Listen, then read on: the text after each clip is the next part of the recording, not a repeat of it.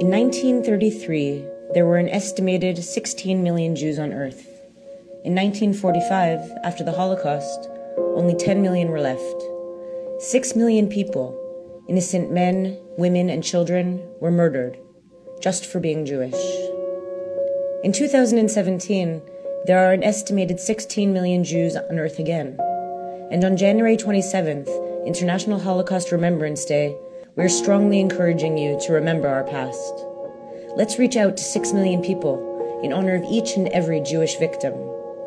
We must remember because the survivors among us are dwindling.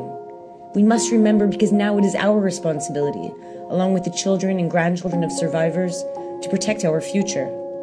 We must remember because today anti Semitism is on the rise again, all around the world. We must remember because Holocaust deniers are relentless.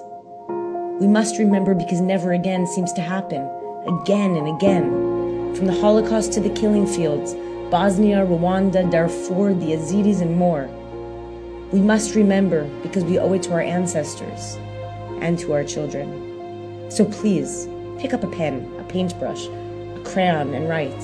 We remember. Photograph yourself and then post your picture on Facebook, on Twitter, on Instagram, and use the hashtag We Remember. Please, don't forget.